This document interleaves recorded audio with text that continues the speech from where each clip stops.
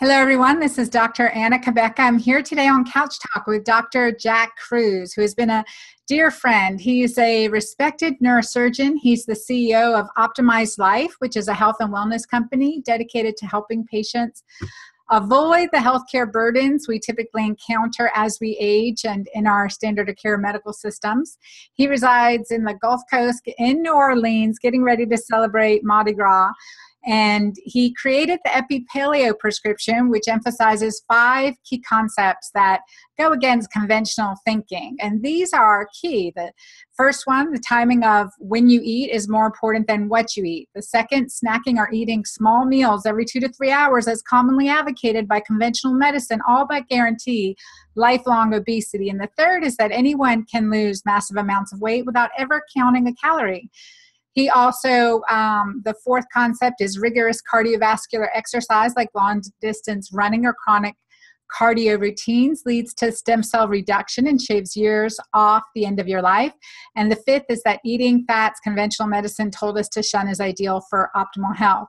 His website is Jack Kruse with a K, K R U S E M D. He's a wealth of really cutting edge science and energetic medicine and is my go to person when I have a concept question. I want to get out there. I want to understand the truth of why this is happening or why we, we're not overcoming a certain physiologic or biologic issue. And Jack has the answers. So, Jack, welcome today. Thank you. I wouldn't say I have the answers, I just like digging for them. I and that's that's the key. That's where I think originally the uh, magnetism with you was is like searching for the truth. No matter what we're doing or practicing, I'm willing to say, "Hey, I was wrong with that," and you are too, and say, "Okay, well, this is the truth behind it." Well, you got to remember, we both went to medical school. We were taught a lot of things that we we've now found out are precepts of the truth. They're not actually fundamental concepts of nature. And the thing is that I find, at least with most physicians, if they've not been too polluted by the system, is that you remember when you wrote your medical school essay, you were very altruistic and you really wanted to be a doctor to help people. Well, I think when people start to understand the fundamentals of light, water, and magnetism, that's when you actually go back and tap the person that you were before you went to medical school when you were bright eyed and bushy tailed and you really wanted to know truly how things work. Well, and you know, at some point in our medical careers, we recognize that we're not healing with our prescription pad and our knife, right? Not at the foundational level. Like it's one thing to arrest the problem and process versus get to the underlying foundational issues and see the problem completely disappear without having to write a prescription pad or to undergo surgery. And and specifically you know for my passion in women's health and relational medicine right there's um, a lot of detriment to what we've created in our standard medical care system. Well what what i tell people uh, and i try to leave it like little nuggets for people to think about. Uh, medicine and most of biology most of randomized controlled trials all the things that we pay for contain half truths. And one of the things that I've learned in the last 10 or 12 years of my life is that a half truth always leads to a full lie. And the key thing is you have to see or dig as the clinician or the patient to see why it's a half truth and then realize why it doesn't work. Uh, and I tell everybody who comes to my site uh, to read some of the details that I have. The reason the details are there is because the application of my information is not difficult to do. The details behind it are extremely difficult. And I tell people it's brain surgery without a scalpel. Mm. I, I kid you not when I say that, that I believe that we can alter our DNA, our epigenetic programs just by the way we think. And it's no longer, you know, in the purview of woo or convent, I should say alternative medicine. It's being proven every day. The problem is when you're in medicine, when you're in the journals that you know you have to read for CMEs and things like that, this, these are not the go-to journals that people read. The books that have been published on the things that we're going to talk about today, most MDs, forget about patients now, most MDs don't even know that this data has been collated and assimilated into book form so that you can read it. And if you pull the bibliography in the back, you'll actually be shocked to see that some of these papers are already 100 years old, but yet they haven't made it into clinical medicine and they've been reproduced uh, as well. So, from that standpoint, I, I guess podcasts like this for me are kind of like we get to shine a light on what we already do know, but yet do not use. And that's the key. And today it's kind of going to be like shining the light from a lighthouse onto this whole area and breaking it wide open. And we're going to hit on some practical points because, and the science behind it, which Dr. Kruse is just amazing at revealing to us because most of the i mean it's not taught in our medical schools but we want to you know what i want to see and what we want to see is that it's practically taken into each of our lives so that we shift the tide of our medical systems but we shift the tide of our lives and our and the generational lives that follow us. So today we're going to hit on a few topics and i um, hitting jack without any preparation whatsoever but really talking about the problem with sunglasses the first thing. The second is no fear seafood the third is indoor living as a cause of autoimmune disease and many diseases. And the fourth, talk about the paraventricular nucleus, healing the PVN, and how stress is a factor in that. And then water as medicine. So, where would you like to start, Jack? Wherever you want to start. Let's let's go into light. You know, we, here we're both sitting here um, with eyeglasses on, and talking about eye and both are in the south and wearing eyeglasses versus sunglasses and how that's damaging and detrimental. Big surprise and well here's the thing anna. It's damaging for you but it's not damaging for me. And therein lies the difference. So just for everybody who's watching this they see my glasses they see your glasses. What's the difference between you and me? I have blue tech lenses in there. You don't know that okay? I'm happen to be sitting in a house that's got blue light around me but if I move that right over there, you see that light? That's a yeah. UV light. Okay. That's a UVA light. And then I'm going to go up a little further and you see the ceiling, how it's got aluminum on it?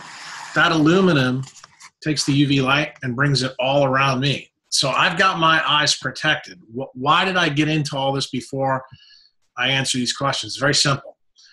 Well, let's hit on that blue light blockers like gunners or those. Any of those. any of those need to be employed when you're indoors out of sunlight. Why?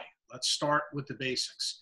Everybody probably listening to this thinks that the eye is a camera. That's what Anna and I learned in medical school. It turns out that that was proven not true about 10 years ago. A guy named George Brainard found a new receptor in the eye called melanopsin that responds specifically to blue light. And it's blue light when it's the sun starts to set. So I have to teach you a little bit about quantum biology to start off with. When the sun rises in the morning, it has three main colors in it blue, red, and green. Okay. The eye camera, which is what we see with, is optimally designed to respond to the green wavelengths. Okay.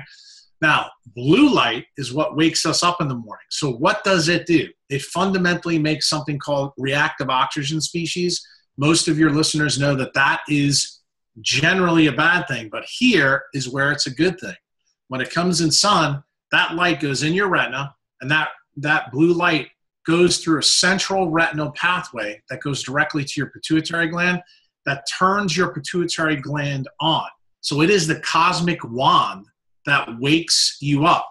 What's the ultimate effect it has past the pituitary? Because I know most of your ladies are listening to this want to understand how the hormones work, I want to teach you first how you wake up. After it goes through your pituitary, it goes into your brain. And in your brain, most of you know there's nerves. There's another cell, however, called glial cells.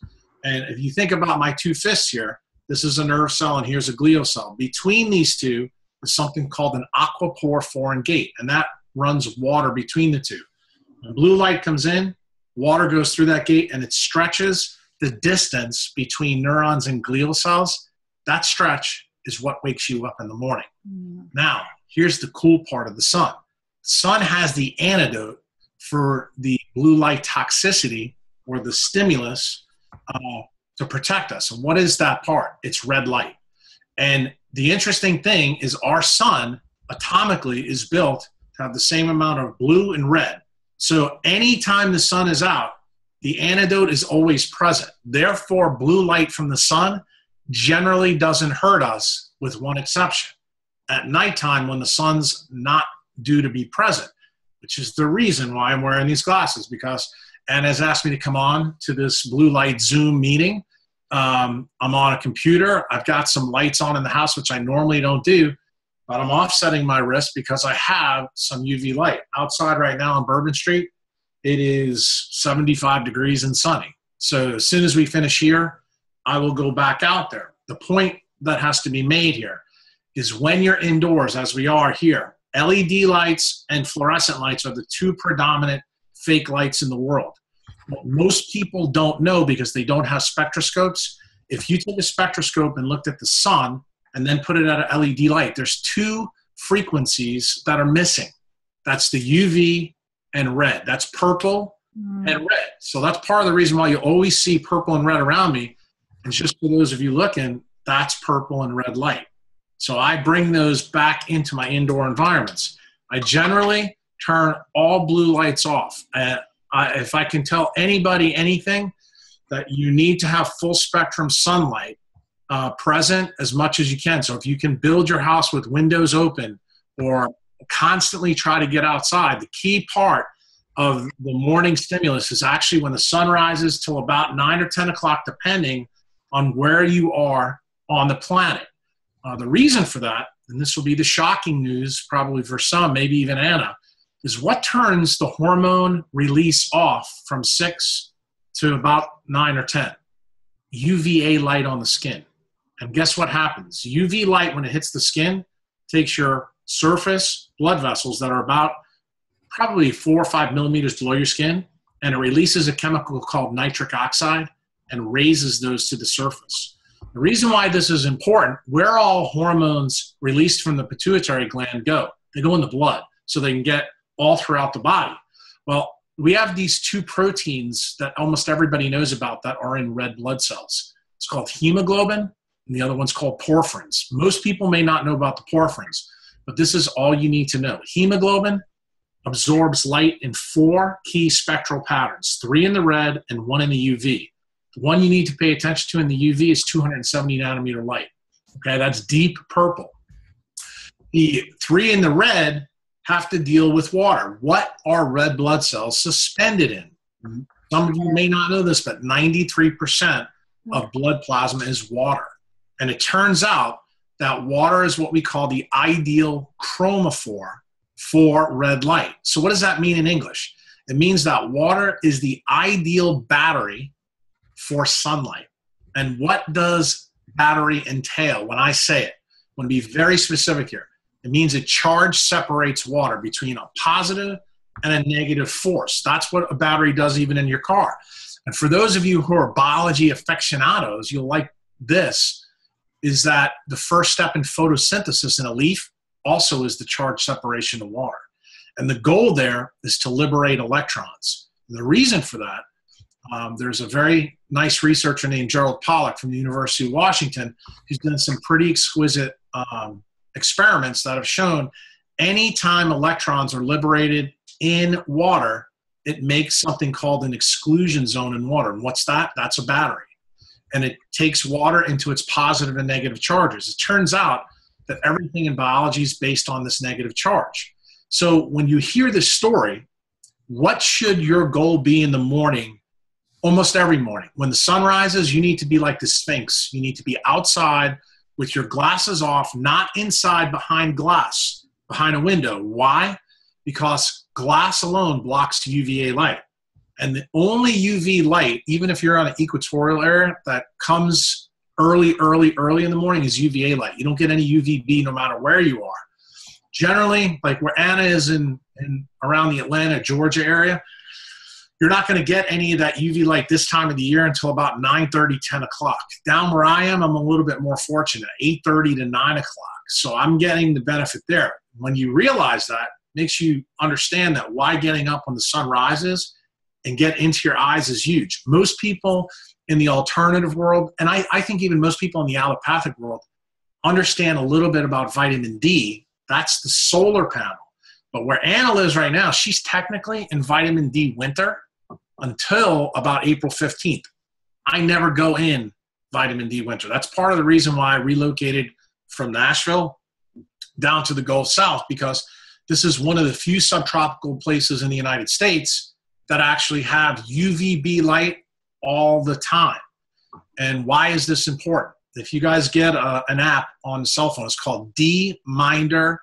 Uh, um, a guy named Dr. Holick, who is a researcher in Boston University, basically took all the data from the United States, all the latitude and longitude points, and put them into a database. You can actually download this for free and find out where you live, uh, what time UV light begins, and how much you actually physically make. Believe it or not, it even has an application that tells you exactly how many IUs of vitamin D3 you make per minute in the area you are. So if you're a biohacker like I am, you can actually tell what you're making at that time. The key point, however, with sunlight that I want to get back to with the glasses is when you wear uh, sunglasses on your face, or I should say on your eye, what you're physically doing is you're altering the spectrum that the retina sees. So let me give you an analogy for all of you to understand so it's very easy to get. If your husband, boyfriend, or girlfriend took uh, you to Home Depot and bought a tree and you put it in the ground and then you put the nutrients in it and you put all the minerals that it needs, but then you put a tarp over the top of it, would it grow? So, why do you think putting sunglasses on your eye that allows the light to go into your brain through your pupil is not going to reduce the quantum yield of sunlight there? Point two, take a look at both me and Anna right now. Neither one of us came out of our mama with clothes on. That is our solar panel. And see, humans have the social and cultural belief that we should be covered up. Well, guess what? Biology doesn't care about our social and cultural beliefs. So, what we've effectively done is create another mismatch where we put a, a, thing over us. So, even if you lived, say, in an equatorial zone, but you had American culture, you would be covered up. So effectively, you still wouldn't be making vitamin D. And it gets even worse when you consider that ophthalmologists tell everybody to wear sunglasses, the dermatologists tell everybody to wear sunblock. And I always bring this point out to them that if you look back from 1900 to 1950, that the rates of melanoma and skin cancer are extremely low, and that's before we ever had sunblock. Yes. Here's the key point. There was a gentleman that wrote a book that all of you should probably read. His name is John Ott, and the name of the book was Health and Light. He showed um, through some very slick experiments that cancer tends to show up when we have an altered light uh, environment. Now, this should be a big wake up call to everybody because you can see the lights behind me and the lights above me. They're no bueno at all. Uh, and this is one of the things that is counterintuitive to a lot of the information I teach people because we are quantized beings, meaning that we run on light frequencies. And the problem is, Anne and I never were taught this. I mean, she'll tell you the basis of medical school, physics is not what we call one of the prerequisites. And it turns out, at least through my reading for the last 12 years, that physics is probably the only true primordial science to biology. And the reason that we've got most things wrong, the reasons why we sell people half truths, is because we are fundamentally unaware that within in this eye, there's a eye uh, clock, and that eye clock works on that new photoreceptor that I told you about that we found 10 years ago called melanopsin. That is a blue light receptor. And the blue light is designed to be turned off when the sun sets. Here's our problem. We wear clothes outside so we get we never get ir which is red and we never get purple during the day and we bring blue, blue light into our lives constantly. Here's the really take home point. Most of you don't know that led and fluorescent lights have a thing called color temperature. Color temperature tells us about the frequencies of light blue light in fake lights has four times the amount of blue the sun does has no red, no purple. Guess what? That means that you have a constant turn on switch to your pituitary gland, which eventually, what does that lead to? It leads to a low hormone panel across the board. But eventually, what else does it lead to? Which is something that Anna wanted to talk about. It turns off your paraventricular nucleus because it gets fatigued. So, what the alternative health doctors and the anti aging doctors talk about when they mention adrenal fatigue, Jack Kruse tends to get pretty upset about because there is no adrenal fatigue. I agree. Thank you. I, well, adrenal dysfunction. It's an adrenal dysfunction. It's like a backpedaling. Well, uh, but it's not like our little glands have fatigued. No, it's, it's so a, resourceful. They're turned they're turned off because of the signaling that are coming through our eye that go to this paraventricular nucleus in our brainstem. And this is the reason why I'm a stickler about this because if we keep teaching people the bad terms they're really not going to understand that wearing sunglasses or contacts potentially can be a big issue. So the reason I'm a fan of glasses versus contacts is you can't easily take your contacts out when you're at the beach or when you're walking on a nice street. I mean, if you happen to be walking with me here in the French Quarter, you will actually see me go from the shade to the opposite side of the street. Now, you don't have to do that. And the reason why people may not know this either, the human eye is blind to UV and IR light. We do not see it. But for example, most of you know that insects are always drawn to light. Why? They're always drawn to IR and UV light. Cats and dogs also see it. Okay? So when you put these lights on and your animals react, uh, you'll understand why. But you physically can't see it. And the reason you're not designed to see it is because your camera vision works on different frequencies than your clock vision. And it turns out that your clock vision is actually what controls your circadian biology. It controls every single hormone in your body. But here's the bigger issue it controls all the regeneration pathways that occur in you during sleep. How it works is extremely complex biophysics, but it's important for you to know the basics. And the basics are this this is the take home get as much sun as you can in the morning time. It's the key part when the sun is designed to set, try to keep all the artificial light in your house down. If you have to use light at night, begin to use either the gunners, the blue blockers, whatever whatever you want to do to protect your eye clock. Uh, I'd also tell you in the house, you probably should cover as much as your skin. Uh, I will tell you right now, I have shorts on, so I'm, I'm not following my own rules. Um, but the other thing is use uh, red light. You can actually use amber bulbs around your house. Uh, we have them here, but to be honest with you, um, I don't put them on um, during the day because I'm very rarely in the house. I'm always outside. The, the real unfortunate thing for most people in the United States is they don't live in a city like I do that's a walking city. Um, you know, there's very few of them left, but it's really, really important that people understand that the sun is not our enemy. We should stop burying the sun.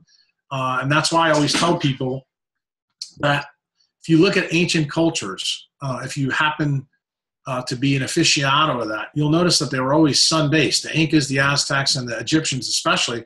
But I always tell people look at the Sphinx. Why? Been in the desert for 9,000 years. It looks directly to the east where the sun sets, I should say, sun rises. And the body of the Sphinx is an animal, and the animal is completely connected to the earth. Mm. So, if any of your people who are listening to this that know a little bit about electricity, you're designed to be recharged. Your battery is right here in your brain. The accessory battery is water. The light has to go through your skin and your eye to raise the charge in you, but your feet have to be connected to the earth. See, the earth is the anode. The sun and the sun's rays are the cathode. That's exactly how everybody's house is built. It has to be grounded.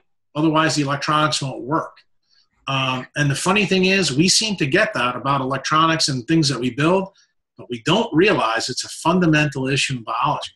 We forget we're energetic beings, right? We are, you know, complete energetic sources. We're not meant to stand still. We're not meant, whether we're at a standing desk or sitting desk, we're not meant to have this closed off from this closed off existence from the environment. So I want to hit some practical points here because listeners to our radio, uh, our podcast, etc., also busy moms or dads with kids, and I've put gunners on my daughter, so blue light blockers for my daughter in her school system because she went from Montessori school to the public school, and uh, you know, and that's in and of itself great as long as she remembers her glasses, so I can control a little bit of the environment. I bought red lights and UV lights. Uh, for my listeners, people have known that my father was um, really, really sick and hospitalized. So I was texting Dr. Kruse saying, okay, he's in the hospital, renal failure. What do I do? He's like, get, you know, reptile lights on him, UV lights and red lights, and get those on him right away. And of course, the hospital room made me take them down but you know was able to implement that when i got home but and so let's talk about like what do we what do we buy and that we would don't then i my daughter put something over her red light and we had a fire in the house but so practical aspects jack i mean that's really crucial we want that and in the house we want to create that, that I think um, I think the most practical thing honestly is in your house start where you are right now do the easy things, what I call the easy things first. The first thing is eye protection at night. Okay. If you know, you need to understand this. A lot of people in the United States don't. In 2009, our president got rid of one TV signal, and now we have LED TV. LEDs are one of the worst offenders for blue light. So if you want to get macular degeneration, cataracts, or any kind of eye disease really fast that eventually goes into neurodegeneration, just watch TV at night anytime. Now, for most Americans listen to this, they go, What? Yeah, that's the truth. Uh, you need to wear glasses like this. For example, when I operate, these are my glasses. The, and you'll notice, same purple frames, but these are BlueTechs with BPI tints. These block all frequencies in purple and blue. These are actually better to wear. At night, this is what I wear. Um, that you don't have to get the specialty ones. You can go buy Uvex glasses, Gunners that are a couple dollars each. The key factor is in the morning, you need to be outside. Okay, so even if you're at work, people are going to say, "Well, I'm at work. I'm here. I'm there." Well, take a five minute break and go outside and get coffee. What's one of the tricks I use when I go into my office? I immediately go get coffee. Half the time I don't get coffee. I'm actually just going outside. I tell people that's what I'm doing, but I don't do it in between cases, days that I'm in surgery, I make sure that my, my surgery schedule doesn't start until eight o'clock. That's one of the big changes that I made in my schedule. And you know, Anna, as a surgeon, that we like to start seven in the morning and get going. Well, guess what? Six to eight is my time to be out getting sun on me. Do I expose my body as much as I can? The answer is yes. But here's the key point in between cases, I have a place by the hospital where the helicopter lands. I go out there in between cases and don't sit in the surgeon's lounge. Even 5, 10, 15, 20 minutes helps you. You don't perceive that it's a help, but it helps you. So you need to understand if you have an office, open the window. If you have the availability to get closer to the window or closer to a door that will let you go outside, do it. In other words, here's here's one of my big take homes you you can never get well in the same environment that you got sick in and if you do not change your light environment i don't care what you do i don't care what you buy i don't care what you believe you will not get better you, because that is a half truth the sun is something that actually regenerates us anytime you can get it during uh, the times it's out is fine. And that includes cloudy days because even on cloudy days, you're getting the proper stimulus that you're designed to work with. So protect the eyes, protect the body when you're inside. But when you're outside, here's where I get a little bit I want you naked. As much as you can be naked. If my wife is here, she'll tell you. We do a lot of naked sunbathing. My kids, the same way. This has become a big deal. The eyes are uncovered. So when I'm walking around the French Quarter, you'll notice you'll see the glasses here or on top of my head, or I'll do this and I'll put them on my nose. So when I need to see, I go like this. So there's many different ways for you to do it. That's the practicality of light. You know, and that that's so key. That you know, always believe in the sunrise and the sunset, right? Just really bathing in sunrise and sunset to start or to fuel our circadian biology. But you're saying all the way throughout the day, the five minutes here, five minutes there, and then taking right. down the sunglasses, which it's a blurry world for me, Jack. But that'll change because here's the thing. sounds like Mardi Gras. Mardi Gras starting. um, here's the thing, Anna, and I've written blogs on this, and I don't want to get into it too much, but can you actually fix your eyesight? 10, 10 12 years ago, when I was really big, uh, my eyesight was negative seven point, I should say 6.75 diopters. Today it's negative 4.25. Why? Because I embrace UV light. You both, you know, and I know that if I told an ophthalmologist that, they would be like crazy for two reasons. A, they'd say UV light cannot improve myopia. Well, here's the thing: they believe that your your um, your lens blocks all frequencies of UV. Well, that's part of the reason I carry this around with me in my bag. This is a UV light. And anytime I see a doctor, I shine this on their retina, and you know what they see? They see fluorescence back on the retina. I said, why would you see fluorescence if the lens blocks it all? See, this is what you call a 30 second biohack to blow a doctor out the water. Mm. When they see that, they go, hmm. And I said, see, everything you were told, you have to start to question. And I explained to them in the in the lens, this is probably something you've forgotten from medical school. There's a thing called the hyaloid canal. It goes from the, the lens all the way to the retina, bisects right through it's an open canal. You remember, light doesn't need a big area to get in. That connection still exists in everybody's eye. But see, the ophthalmologists don't realize this. And the real problem is when we go and have somebody who's got a cataract from blue light, which is the most common thing, ophthalmologists tell you it's UV light. They take it out and they put a UV blocking lens in. That means you can't get any UV light in. So you have to realize in their own literature, it's known that after you have a lens implanted for cataract surgery that people tend to get sicker especially people who have metabolic syndrome and who have metabolic diseases. Why is that? What did i say to you earlier in this podcast? Anything that affects the central retinal pathways affects growth and metabolism. Here's the point. Think about what i just said.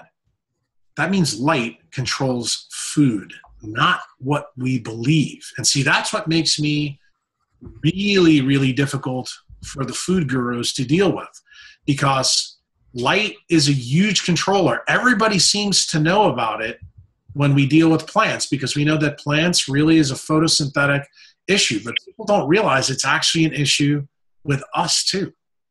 Well, and I want to emphasize what you said before to really bring it home to our hormonal right aspects, our, our hormonal biology, and especially as we're getting older, but our youth are being affected by this um, UVB lights in that it be, creates this hypopituitary hypopituitarism or, or low production of our hormones, and we're seeing young men well, with low testosterone.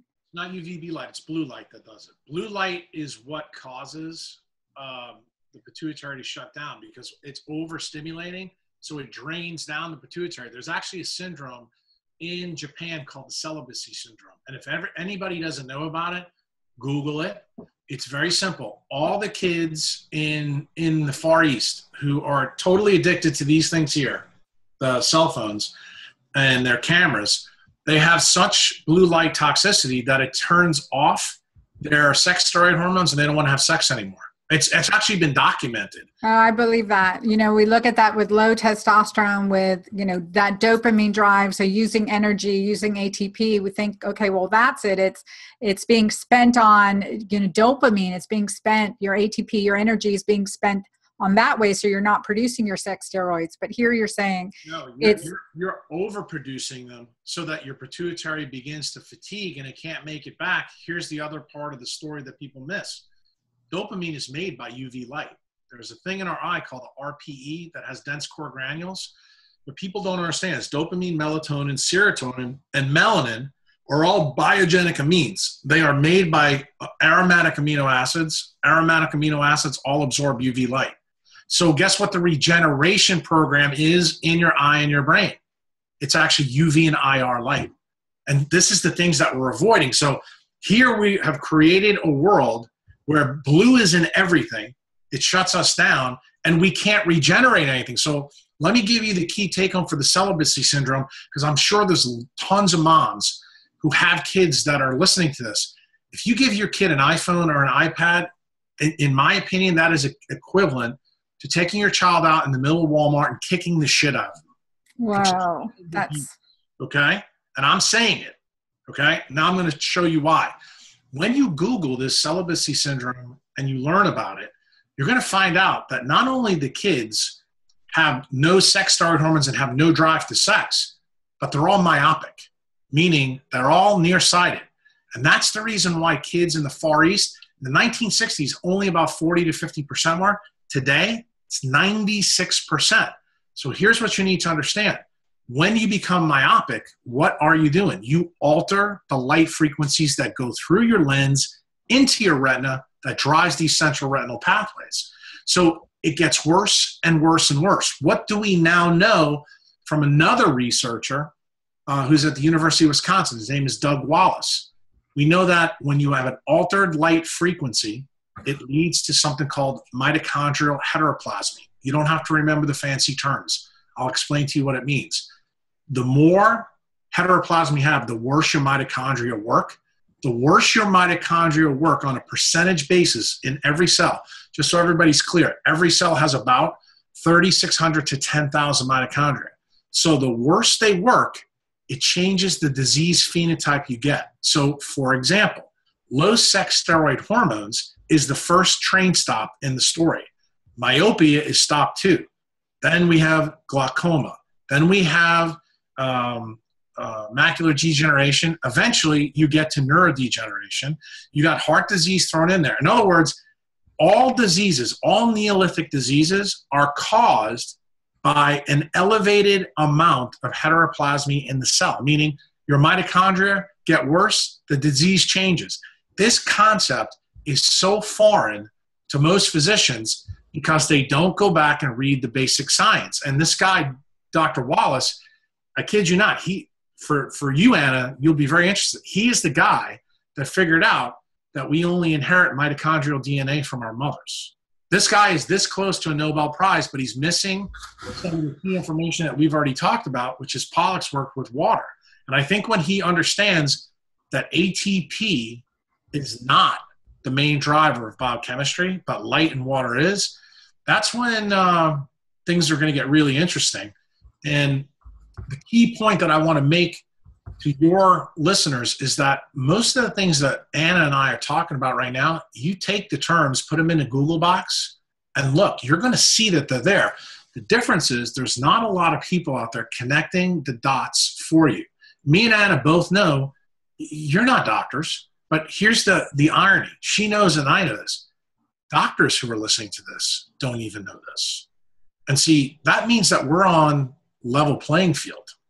So once you realize how these processes work in your body, everybody, and I was one of these people, you know, 12 years ago, told me that if I wanted to lose weight and get optimal, that I needed to eat eat less and exercise more. I found through all these processes that we're talking about right now that I could eat more and exercise less if I acted more like the Sphinx. Mm. when I did my original biohack, did I believe what I just told you now? Not at all. Why? Because I was a conventional wisdom allopathic doctor. But here's the cool part I realized that I did everything my profession told me to do to try to lose the weight, and I kept failing. So I remember this little voice in my head that I learned when I was in third grade from my teacher said, if you keep doing the same thing over and over again and you fail, that's the definition of insanity. And it goes back to a guy named Einstein. He's the one who said it. And it turns out that Einstein, Da Vinci, and Michelangelo are the three guys that are my mentors. Mm. And I started to think about this and I said, you know, maybe the problem is the way I'm thinking about disease generation and I need to erase what I believe and then try something completely different. And that's fundamentally what I did. And I realized that light, water, and magnetism were the key missing pieces in biology. That's when I that's when I came up with the leptin prescription, cold thermogenesis, and started writing my blog and I wrote a book about it. Now, in the beginning, did I tell anybody that the leptin prescription fundamentally was tied to light? No, I didn't. Why? as you guys are probably finding out right now, how we're talking about, all these little details are pretty complex. So I didn't want to lose people at hello. Okay. Um, so what I decided to do is give them something that they could wrap their heads around and say, okay, this makes some sense to me. Um, cold thermogenesis, very simple. Using cold temperatures, it's the same thing a leaf does. If you could see my tree right outside my house on Bourbon Street, I have a magnolia tree. Magnolia trees are designed to live in subtropical zones. You know, they have big leaves and leaves angle down. That's how, and when I say like this, they angle like this. The reason why the sun here is so strong, the angle of inclination cools the leaf. There's only two ways a leaf can cool angle of inclination and these stomatal openings that release water on the leaf. You have them too. They're called apocrine sweat glands. Mm-hmm. That's how you cool your surface. Okay. That's the reason chimps have hair and why we don't. We've changed our glands to sweat glands to cool our surface because we have frontal lobes that chimps don't have that are loaded with dopamine that need UV light to make this. So the more you cool, the more UV light you absorb. So when you begin to understand all these things, when I said to you, be like the Sphinx, go outside, I'll show you another practical trick. Anytime you're in the sun, here's one of the big modern mismatches. These are my shoes. I don't own a pair of shoes that have rubber on the bottom. I want you to think common sense. Why? Because the earth Exactly. The earth is an anode, it releases free electrons. Your feet are designed to be connected to it so that you can absorb more UV light here in the eye clock and the eye camera, but also on your skin, assuming that it's exposed. That's why I always tell my members think about the Sphinx every morning. Do what the Sphinx does. And this is where to begin to make some sense to your ladies who are overweight. And it's very, very easy to understand obesity from my perspective. Your mitochondria have an input. It's called electron chain transport. So let's just stop there. Electrons, okay? Forget about proteins, forget about carbohydrates, forget about fats, okay? The output of mitochondria is oxygen. Everybody knows about that. We breathe it. So the more electrons you put in and the more oxygen you have, the faster electrons flow down that chain. Here's the key thing this guy that you heard me mention before, named Einstein came up with this thing called a photoelectric effect. What does that mean? It means light can turn to electrons and electrons can turn to photons. Okay? So, the more light you assimilate through your surfaces, the more electrons you provide to your mitochondria. The more electrons you provide to your mitochondria, the less food you have to eat. Why do you want no shoes on or leather shoes? Because leather transmit electrons you get more free electrons here. So, in other words, that's the snack that you want to eat six, seven, eight times a day. The sun is the other snack, not the grapes, not the crackers, not the apples. You start doing this, and you'll start to notice within probably six, I, I tell you, six weeks to about 12 weeks, all of a sudden your cravings go completely away and you're eating one meal a day. Why is the one meal a day important? There's this thing that Anna has probably told you all about numerous times called intermittent fasting. Fancy name for I don't eat that much. Why is that important? Guess how you recycle mitochondria? You can do it through exercise, but what's the best way? Eating one meal a day, fasting. Okay? That's one of the easiest ways to do it. Does it cost you anything to do? Nope. All you have to do is act like the Sphinx. Why does ketosis or fats work in this whole program we're talking about? Very simple. Again, you don't have to know a lot of biochemistry here. That's the best part of the practical applications. When you eat one, say, mole, that's what we call it in chemistry, of glucose, and eat one mole of fat, Anna will tell you the glucose gives you 36 ATP. One mole of fat gives you 147. So, third grade math, which one's better? Mm. Got it? You get more electrons from fat than you do from carbohydrates. So that's why ketosis helps you. But here's the key when you begin to understand what I just said, you're going to say, wait a minute, if I'm more sphinx like, do I really need to eat keto or keto, ketogenic constantly? The answer is going to be no if you're more connected to the sun and the ground. But here's the problem most of your modern life is built around beliefs and around jobs and around family that disconnect you from that. So, guess what the take home message is?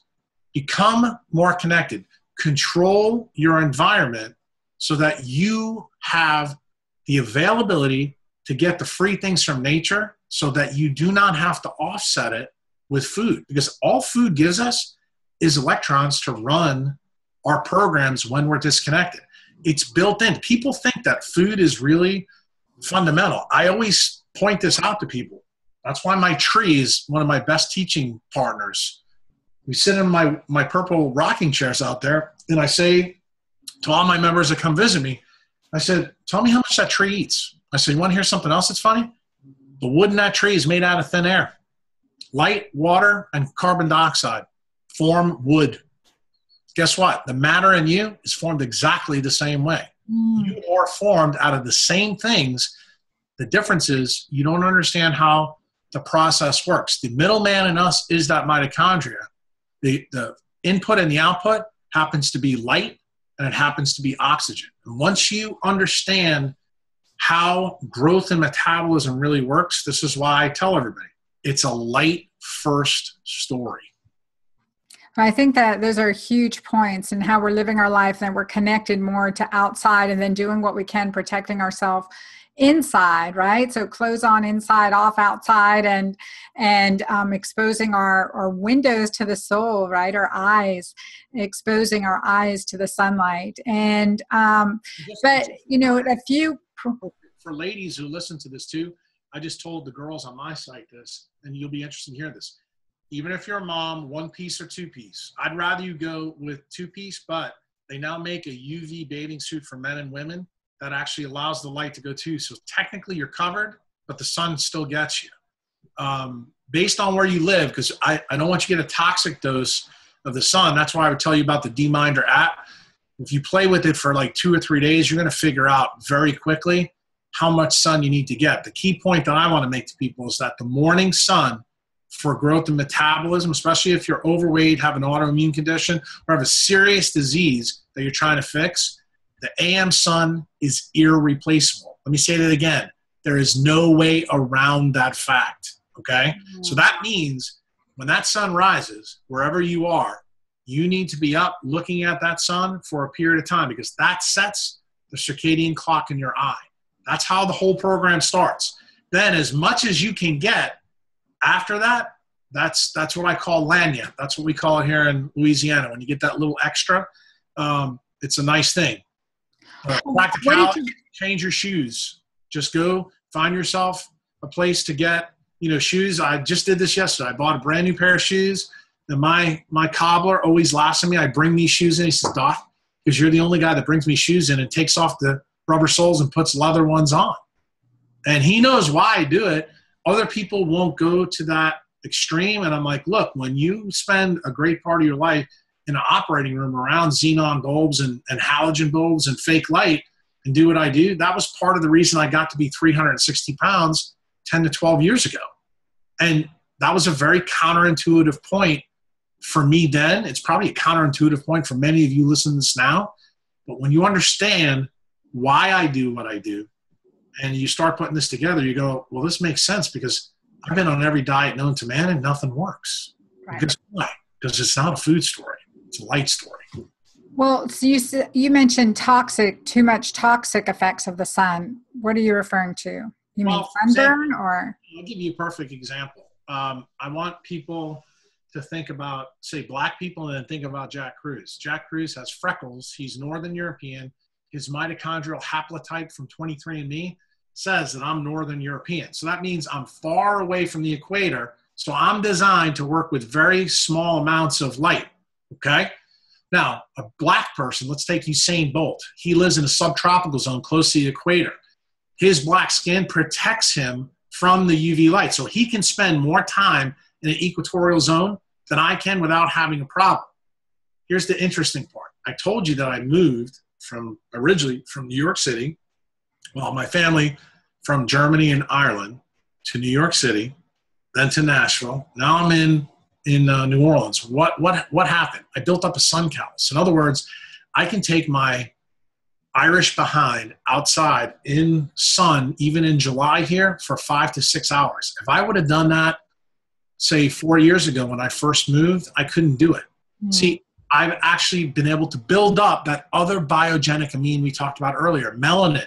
See, people don't realize that dopamine, melatonin, serotonin, and melanin are all biogenic amines that are made from three amino acids. Okay, and those three amino acids are aromatic. You don't need to know what that is, they just have rings in them. What makes them special is they all absorb UV light. So the more you assimilate UV light properly, you can actually raise your game. In other words, you are not confined to the mitochondrial DNA that you inherited from your mother. In other words, there's some play in it. And you have to figure out as you change your environment how much play is in it. And the only way you're going to know is to get off your duff and biohack it. That's what I teach all my people to do. And I'm showing you, I, I, I live this life and I've done it for 10 years. I used to be 360 pounds. Now I'm probably about 220, 230. And do I do things sometimes to gain weight? Last, well, two years ago, I did a biohack to gain 50 pounds back on a paleo diet to prove to people it was not the diet, it was the light. What did I do? I sat in blue light for six months while I did the biohack. Well, one thing for our listeners is that Dr. Kruse made the association between really the reasons behind seasonal affective disorder, right? Because right. serotonin, dopamine, I mean, crucial, sleep disturbances, crucial to the time of year. We see this abundance, especially at this time of the year. So, dopamine, serotonin being um, uh, inefficiently made. Yes. Um, that's, and that's so, really what happens. It's, it's because they're inefficiently made because we don't have the proper frequencies of light because of the way we've constructed our lives. But I've already told you that the practical take home. Anna, how much does it cost to go outside when the sun rises? Oh, it's free. I love free things. Well, I mean, guess what? It's not that hard to do. The problem is what's hard is to want to change your life. And you know why change is hard? And I know you know this, Anna, but I don't think a lot of the people who are listening to this have made the connection what does dopamine do? Dopamine is originally made in our eye in a place called the RPE. That's called the retinal pigmentum epithelium. Where does it go from there? It goes to our frontal lobes. When you have low dopamine in your frontal lobes, you know what you can't do? Change. The other thing you can't do, you don't see trends. Okay? What happens after the frontal lobes in humans? It goes to your brainstem. Where is that located? You've probably heard of this called the substantia nigra. Okay? When that gets destroyed, you get a disease called Parkinson's disease. Okay? Dopamine is also located in the frontal and temporal lobes. What happens when it gets destroyed there? It's another disease you may have heard of. It's called Alzheimer's disease. Okay? All of these things are linked to light. And okay, you need to understand what you've been told by your doctors, by medical school, by the things that you read in Oprah's magazine are all wrong okay and most of the the things that nature provides for us are good the problem is we need to understand how to use it. That's why i tell a lot of my good friends who are really religious i said you know the bible had it right. It said let there be light. The problem is god didn't tell you what the recipe was after that. You have to live your life figuring it out. I think the problem is we've gotten too smart for our own bridges. We've created a world that actually has created alien suns around us brought us from outside inside. So, in that sense, I almost look at our houses almost as the Garden of Eden, uh, where the apples lie. And that's a very counterintuitive way to, to look at what we're doing to ourselves, but that's functionally what we really are. And the cool part of my story is none of what I'm telling you right now is going to cost you very much money. All you have to do is realize that change, doing these changes will be hard for you because you have low dopamine in your frontal lobes. But if you do them very quickly, you're going to say, hmm, this is interesting and that willpower will carry on into other things. So, for my listeners, I called Jack the other day because I've been working on my magic menopause plan, right? And that's the okay, why all of a sudden what I was doing wasn't working anymore. And certainly things have changed inside more. So, really getting my body into ketosis, but also making sure I have enough of the greens on board to have that alkaline state. And I think where that's working is this whole photoelectric charge is improving my absorption of light and also the you know internal magnetism right the electron charge. And so that creating the fat loss and and detoxification, right? Healthy detoxification, healthy fat loss We'll hold on to our fat if we're toxic uh, as a safety mechanism and helping with that release and also promoting sanity. And I want to say for women, one meal a day may not fuel our neurotransmitters as compared to men. I think men are more designed for that one meal, Jack, versus women. I would, t- I would tell you though, women eventually who do this long term, my wife happens to be one of them. My wife, she'll kill me when I say this, but she's older than me. She's 57 years old. She looks better now than she did when she was in high school. Nice.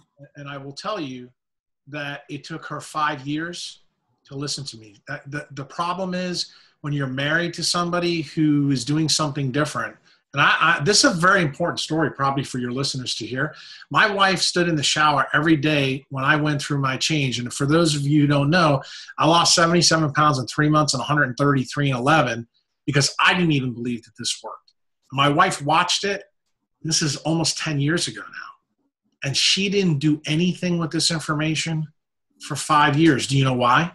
Because her dopamine level was extremely low. We lived at the time in Nashville and I told her, I said, Sandy, you need to take your clothes off and come outside with me like I do every morning. And this woman was religious. I would be outside at 5:30 in the morning in December and January, waiting for the sun to rise on my deck. My hair would be frozen.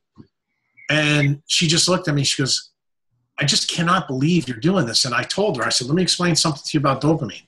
So not only does UV light make it, but do you know that cold makes dopamine as well. See, there's two pathways. See, biochemistry is thermoplastic. We Why? think about cold making that brown fat, so that increasing the mitochondria, more metabolically efficient. No, cold gets rid, it activates brown fat to actually become a fat burner. So what are you doing?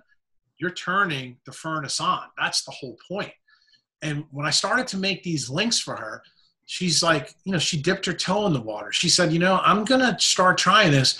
And I knew it was probably about five, six years ago when she climbed into the pool with me in January when it was about 28 degrees. She goes, No, I'm going to try this. And she tried it. And I said, Okay, now just come out because it was sunny. I said, Sit outside. And I said, I want you to look in the direction of the sun for just 15 or 20 minutes with me, not directly at it, just off to the side.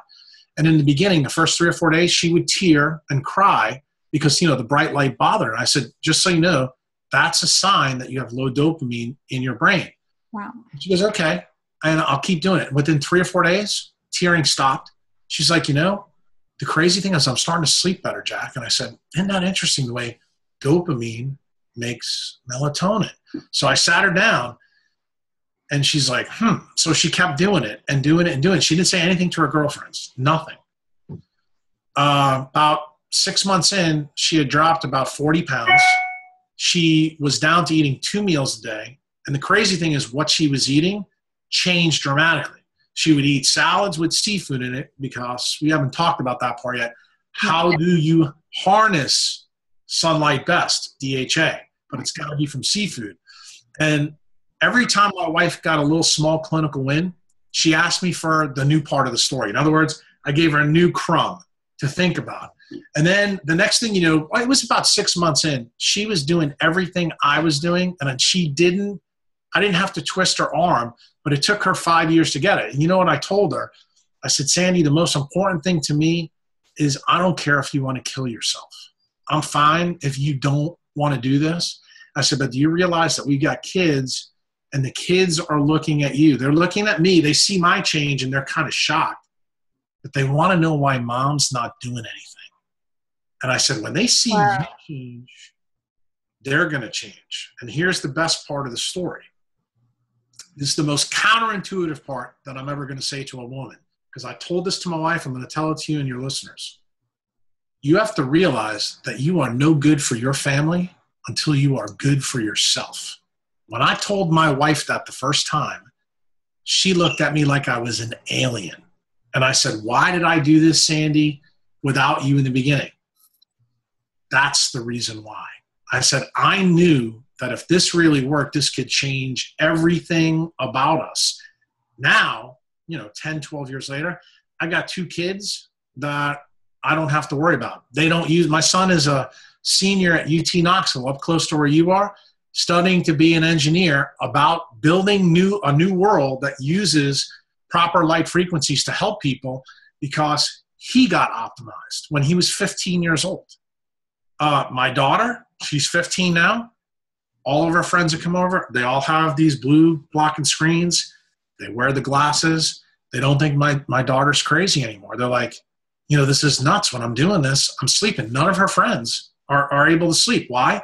They have the cell phone right by their head and they're constantly texting. That's why I said to you earlier, when you, you know you shunned, I could see your face when you when I said it. It is child abuse. The problem is, it's people back away when I say it because they don't understand the physics behind it.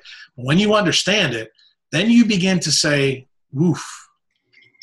So the blue blocker screens that we put on the iPads and iPhones, it's a it's a help. It's it's a huge help. But see, the one that the iPhone just came out with, they're, the new iPhone's coming out with something called Night Shift. It's not good enough. I, you can see mine has a screen on it. I'll put it on. I don't know if you can see it. It blocks. It's got a screen that goes over it. On the computers, unfortunately, it's not on now because we're in the middle of the day. There's a program called f.lux. F U X. Everybody should have it. Yeah. Because at night when you use it, when I'm on the computer at night, I wear these I have this and I have all my skin covered. Okay. That and the irony is that that's the key. That's the time to keep your skin covered. But during the day is when you want to reverse the process. You want everything uncovered as much as you can. But the key stimulus, as soon as the sun rises, I want you looking in the direction of the sun. And what people need to understand, it's not going to hurt you in the morning because there's no UV light. There's no UVA, no UVB. The only place that's not true is at an equatorial existence. And right now, only 6% of the world's population lives on the equator. 94% live away from it. 80% are outside the tropics. So this this information really is for everybody. We all need to be looking in the direction of the sun when it rises every morning. When you're driving in your car to work, what's the easiest biohack? I already told you that glass blocks UVA light. If you have a, a moonroof, open it up. You have a little window. You don't have to open it all the way up to freeze your ass off. Just crack it this much. You know why? The light gets in. That's that whole photoelectric effect. You don't, a little sliver will still get it in. This is what I do, just like that.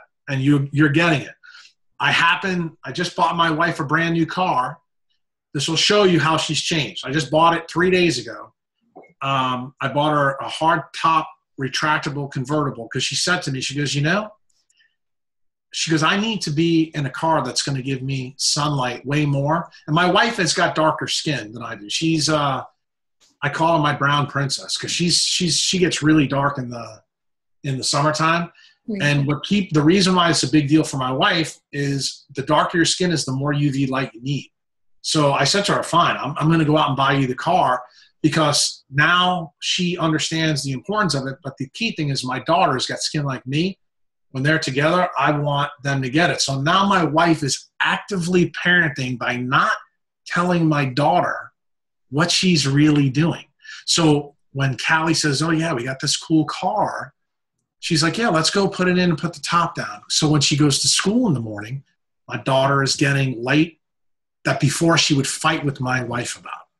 Oh, it's beautiful. And that's a good practical application you're you know imagine teenagers resistant at many levels so you got to be sneaky about it sometimes well, what about wearing the sun, you know just a hat even if you're not wearing eyeglasses well you could Is that, that going to be fine there's a there's a lot of different little tricks the main thing that i want to give to people is to, to know that the sun in the morning is not our enemy it's actually our friend and any way y'all can do it i want you to do it um, and you don't have to tell people. This is the coolest part of what I'm teaching people. You don't have to tell people all the science. I don't have to teach you all that. I, I have a saying that I use with my members, and I'll share it with you here. You don't have to speak Mandarin Chinese to know that you like Chinese food, do you? So that means you don't need to know quantum physics. You don't need to know all the details of quantum electrodynamics like I do. Now, if you want to sit down with me and get a bottle of wine and have a discussion about really how this works, come down to New Orleans, no problem. I will blow your mind. All you have to do is read one of my blogs and you'll understand how detailed this goes. Why? Because I told you when we started this podcast, I am still pissed off that I was lied to for my whole life through, you know, high school, you know, college, medical school, that I did not learn this stuff. And the crazy thing is, uh, it aggravates me. And it aggravates me to this day because I know how many people in the first 15 years of my career that I hurt. I didn't do it with intent, but I know that I hurt them. And that's the reason why I am passionate about not dealing in half truths anymore. And Anna, you know, when I see somebody who's dealing in a half truth, I ain't that nice a guy. No, no, you're forthright and forthcoming. But again, you know, we have, we're here on a journey for lessons and learning and for our best self, right? We have divine purposes within us. And one thing where I am angry is because, you know, I grew up with food as medicine, traditional wisdom. My mom passed down Middle Eastern generational knowledge. And in America, she became very, very sick and died at age 67 uh, undergoing her second heart surgery and if i knew then what i know now my mom would be celebrating her 88th birthday but i mean it's huge it was such a big aspect of my growth as a doctor you're going to be able to teach all these ladies that are following you what you couldn't teach your mother yeah to me life is lived through the windshield not through the rearview mirror. It may bother you because it's your family. But the thing is, no one can hold you at fault when you truly didn't know. That's part of my struggle is that I know I didn't know, but I'm still pissed off about it. And when I talk to other doctors about this, A, they're usually floored. Uh, and B, the patients usually take to this way more because they've already had the existence that I had before, that they've tried everything and nothing else works. And then they go, wait a minute, is it really this simple that I just have to embrace the sun, drink good water, and try to stay away from non native electromagnetic fields. If you do those three things, those top three, I promise you, you will not get wallet biopsied by my profession. You'll probably stay as far away from my operating room table as possible. And the way I look at it, it's not that you're going to live to 120 years old, but this is what I tell people. You will live a full life you'll die falling off your roof replacing it at 80, 85 years old. Why? The key thing is none of us want to be sick for 25 years before we die on 14,000 medications, spending more money on medicine than we do on food. And, and the key thing is the other way that we raise dopamine, because there's lots of other ways to do it, is what we're doing now when we share with each other. One of the things I hate about our modern life is that we don't go out and talk to people anymore. We don't get outside. One of the things I love about my house here, since it's a walking city, every Friday and Saturday I go out and find tourists and I open up a bottle of champagne and I just share with them and they like look at me like, is this normal? And I'm like, normal well, city. Right. I always say the the idea of sitting on the beach with a laptop will surely be the quickest route to death, loneliness, depression, and suicide. I mean, it is not our ideal existence. And I like what you said. You know, if we can agree to tear the uh, tear the rear view mirror off our off our wall that's key and uh, you said the right kind of water so there's all kinds of water bottled water filtered water what should our listeners what choices should we make with water? Because we are predominantly water and that is key. You said dha seafood oysters. I'm a big fan of oysters. The, the, big, the big thing water is i tell people there's a, a, website i can't remember what it is called find a spring. You can google it. Uh, first thing you need to do based on where you live make sure that the water table is okay. Like if you live in a place like flint michigan uh, go buy your water from somewhere else. Um, I happen to be fortunate. Down here, as Anna knows, the Southeast, uh, the two major advantages. Let's just talk about latitude a little bit more. Why the Southeast of the United States is so incredibly powerful. A, we have great water, we have great light. So that knocks that out. The other thing that people don't know is that 600 miles from where I am right now, there's a big hole in the ground where an asteroid hit 65 million years ago. And believe it or not, that's where we all came from. That's where eukaryotes, that's where dinosaurs got taken out and the age of mammals began. Well, it turns out that the Gulf of Mexico has so much seafood in it, which makes it unusual because many people don't know this. The, de- the, the equator all the water around the equator is an equatorial dead zone for sea life. Most sea life lives at the poles, but the Gulf of Mexico is a, um, an exception to the rule. And the reason why is because of that hole in the ground. It connects the magma chamber closer to the water, so there's more magnetic flux. So that's the reason why when you go fishing off one of the oil rigs here, you can get tremendous seafood. If you've not been to Pensacola, Destin, New Orleans, Gulfport, seafood's everywhere. I mean, you can't get away from seafood, you know, from Key West all the way around. But people don't know why. That's one of the reasons why. The water here, we get tons of rain. Uh, the water here is great.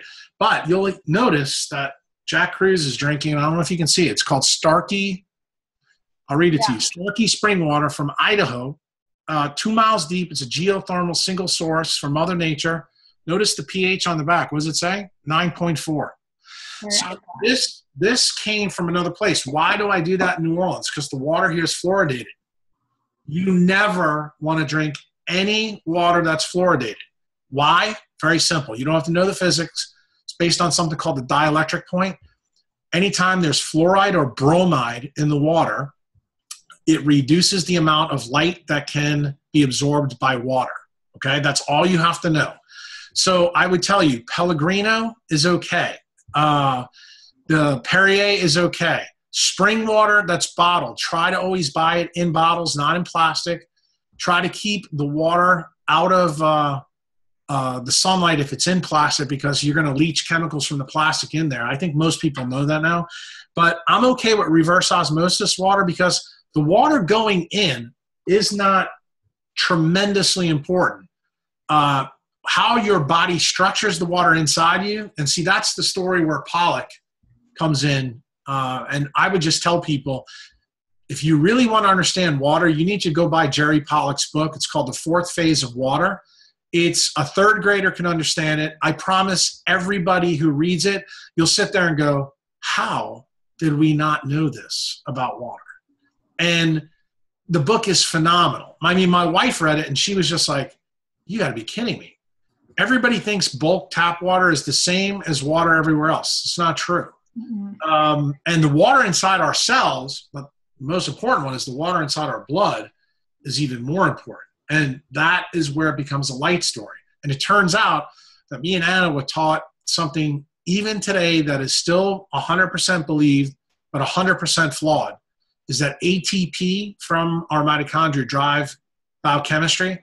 I learned 12 years ago that wasn't true because a guy named Gilbert Ling did an experiment in the 1950s that showed that there is a five-fold deficit of the amount of ATP in a cell to explain what a cell can do. What does that mean? It means that the ma- it's kind of like saying you have a million dollars in bills and you only have five hundred thousand dollars in the bank. You're broke. Okay. And when you hear that, you start to go, well, where's the energy come from? And for literally probably two or three years, I struggled to figure it out. Then I came upon some Russian data about this light water connection. This is before Pollack's book was ever written. This is back in 2005 then I started to realize what the issue was. It turns out that water and sunlight are the main battery. That's actually what drives our biochemistry. So if you think about some of the things Anna and I talked about in the beginning of this podcast, then you start to realize why being like the Sphinx is kind of important. Okay. Um, I would tell you, most people, if you live in a city, don't drink any fluoridated water. Go and spend extra money. This instead of spending money on statins, this is what you should spend your money on. Um, most people in the states are lucky we can get bottled water from just about any source. Try to stay away from plastic. Like I, I try to avoid Dasani. I try to avoid any of the Coca-Cola crap. You know, any Nestle. If Nestle owns it, I stay away from that. I spend good money on water. Down here in New Orleans, we have guys that deliver, you know, the big five gallon things that you always see in doctor's office. I have one in my house. I have one in my office for my girls that work for me. Um, I drink green Mountain Valley water. That's a big one here in New Orleans. It also mm-hmm. comes in bottles. Uh, this Starkey stuff I got from Whole Foods because, believe it or not, when I go to Whole Foods, all the guys in there like, Doc, you need to try this water and tell us what you think.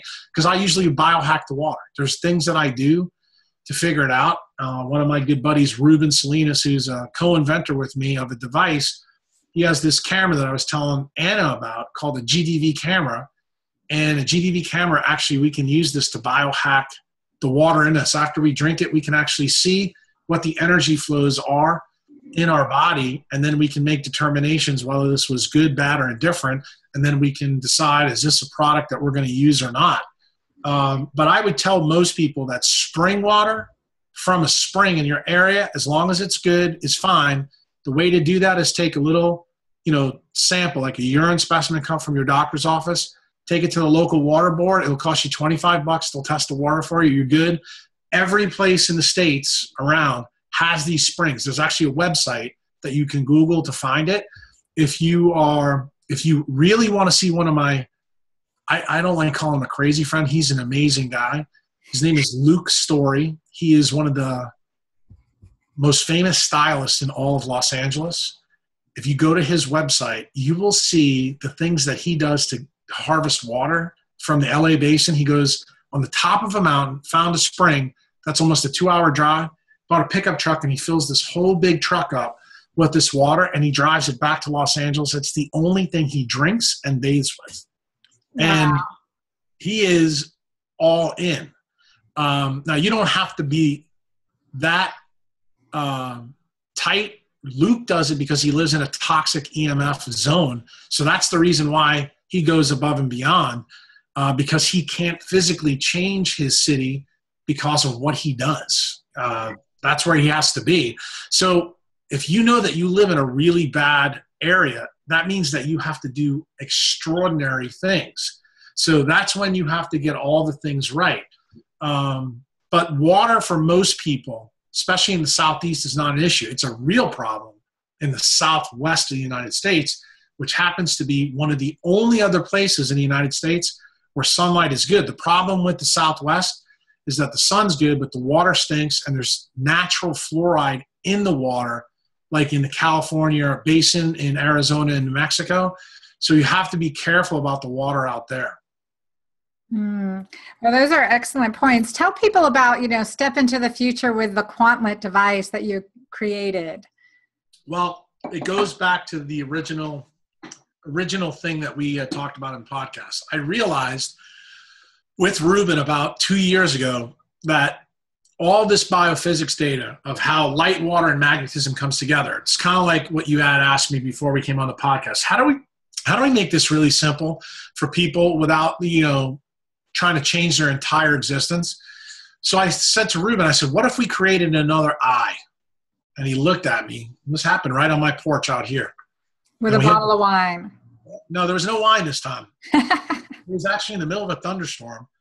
And we had the GDV camera out because he wanted to see the difference in the local environment when a huge storm was coming through. And I said to him, I said, Ruben, you know, if we build an eye somewhere on the body, we can actually deliver light frequencies that we're missing. So remember what we said earlier. We're missing purple and we're missing red. I said, what if we make a device over an imperfect black box radiator? What does that mean? Our pupil is a perfect black box radiator in physics. That means it allows light in and allows the light out. That's why it works so well with the sun. That's how we get the light energies into our brain to do the things that it does. I said, if we look somewhere on the body and we find a perfect, or I should say, an imperfect black box radiator, what does that mean? It means that we're looking for an arterial cascade that meets a venous cascade so that there's a big change of, of arterial and venous blood that we want to load with light frequencies and we want to use cold to do it. Why? What I told you before about the leaf and my wife in the pool. When you cool a surface, you absorb more UV and more IR light. So I got the idea actually reading some uh, data from Harvard University and Stanford University about six, seven years ago. They came up with this thing for uh, athletes, high performance athletes, which was called the Stanford glove. And it was this big, huge glove that went on the hand and it had a vacuum pull device, you know, that pulled the surface blood vessels up and they were actually able to cool it and they would cool their body down. They found that their athletic performance went up tremendously just by doing this alone. They started using it with athletes. The problem was when these guys work out, you can't wear this huge thing on your hand. So they were losing the benefit. So I had been thinking about all the things I was doing with the leptin prescription and cold thermogenesis. And I said, you know, the thing that these guys are forgetting? what's the thing that pulls blood vessels up to the surface best? Nice. UV light, mm. sunlight. I said, why don't we just introduce specific light frequencies over the radial artery, which is an artery every doctor and I think every patient knows because that's where we check your pulse. Anybody can feel it now. Well, it turns out this has something that's also really beneficial that anesthesiologists use anytime you put someone to sleep. We put this little red thing on your finger called a pulse oximeter, and that tells us how much oxygen is in the blood. So I explained to Ruben the more UV and IR light we get in the blood, the higher the oxygen level goes up. You technically don't need lungs to breathe. You can actually use light to breathe. And he looked at me like I was crazy, and I gave him all the data about it. And he goes, Let me get this straight. You think that we can cool the radial artery and put UV and IR light through it to act just like our eye? I said, It won't be just like our eye, but it's going to be awfully good. And that's what we did. We came up with the Quantlet device, and that's a, it's the first quantum wearable device. And it was designed 12 feet from where I am right now in the middle of a thunderstorm utilizing a GDV camera. And we came up with different iterations of it. Um, it's you know out now. You can actually go to our Indiegogo page and look at it. There's only five days left from today, um, where the device has, been out. It's been out for about 30 days. Um, our goal, if we if we were to make this and sell it um, like say in Walmart, it would probably cost five, six, seven thousand dollars to to make. We decided to go with a crowdfunding thing because our goal is to try to get it in everybody's hands. And we think if we can meet our initial goal, that we can sell it for probably between four and six hundred dollars. That'd be amazing. Well, not only that, it'll probably be the first wearable device that won't kill you, like the Fitbit or the iWatch or you know a cell phone because what we're doing is we're putting energy back into your body while your environment is sucking it out right. uh, and as long as you use these and your skin and your gut and your lungs to do the right things with this this may be able to offset a lot of our progress or luxury beliefs that we have now um, and ruben has been biohacking this huge he's a ceo of a, a company in germany and he flies back and forth to uh, Boston from Boston to Germany two or three times a month. In fact, he's in Orlando right now at a meeting. He has worn the Quantlet since we've designed it. He's not got any jet lag when he flies. And the thing is, when you understand what we said before, I told you about light, dopamine, melatonin. How do you get jet lag? Melatonin drops. Well, what did I tell you? If I can add back UV and IR light, I can stimulate the repair programs to make melatonin, can I? Well, guess what? That's what the Quantlet does when he's flying. And that's the reason he doesn't get a circadian mismatch when he gets there. Um, and that's the counterintuitive thing. Most people, you know, Anna, especially in the anti aging meetings that we go to, most people think that melatonin is, is a pill answer or it's an answer for the pineal gland. It turns out that's not true. The RPE of the eye is what makes melatonin. You have to make melatonin in your eye before it can work in the pineal gland. And see, that's the details that people miss. But when we're in the interim, as we're healing the processes, sublingual melatonin, you no think it's not? I got a blog coming about that very soon. If you take melatonin uh, exogenously, you are destroying the endogenous clock. You never want to take melatonin. And very rarely will you hear me say, never, never not. And I'm going to, now this is specifically for you. You know that another biogenic amine is dopamine. What do you know about dopamine when we use it as doctors? We give L-Dopa to people, and what happens? It only works for about a year, year and a half before they get off symptoms, right? So mm-hmm. then they have to have deep brain stimulation because the medicine doesn't work. The same thing happens to melatonin, except it's not as obvious. So it destroys endogenous signaling. And the reason for that, if you really want to know the, the reasons why this happens, I wrote a blog and it's very detailed. It's called Time Six. It tells you exactly the reason and how this happens. It turns out that there's a chemical in our body called glutathione. Glutathione is designed to work with UV light and dopamine, and glutathione quenches. And when I say quench, we're now talking about a photoelectric effect quenches the effect and it's quantized to the amount of light that comes through the eye. And the problem is, all these people that have this disease are getting constant source blue, no UV. And that's the reason why um, the medications don't work. Uh, when you begin to understand how all this complex physics works through the eye, that's when you start to go, you, you look at our profession and go, man, this explains why these medicines don't work. And this explains why, uh, give you a perfect example. I said this earlier, and I know that you are a big proponent of bioidentical hormones, and you know that there's many people who do anti-aging medicine that talk about putting bioidentical hormones on their skin. If you listen to what I said earlier, you would know that UV light completely inactivates bioidentical hormones that are on the skin. So guess what? If you put it on, you better make sure it's covered. Otherwise, it ain't going to work. Okay? Most people never get told that. Right. Never. And that's the reason why they have to take ridiculous amounts because people don't understand how light and hormones work. It adds to why it works better when it's applied around the vulva, the inner thighs, the lower belly. Yeah, most women are not cruising around with that hanging out. No, exactly. no. But That's intermittent melatonin for, you know, uh, intermittent even, you're saying tiny doses of sublingual. Because what about the melatonin research to help with autoimmunity and breast cancer? Very simple because it's low. So when they give it, they're getting the benefit. Here's the problem that you're not realizing time scales. See, all studies are done on short time scales. What are we interested in? We're interested in on a 50, 60, 70 year window if you lower you know your endogenous production what's going to happen? I, I, i'm going to get even more controversial probably in the next six weeks on my blog when i talk about vitamin d supplementation. If you've ever sat down you, you think uh, i'm controversial now wait till you read that. You, can you supplement the sun? The answer is no you can't. And you shouldn't.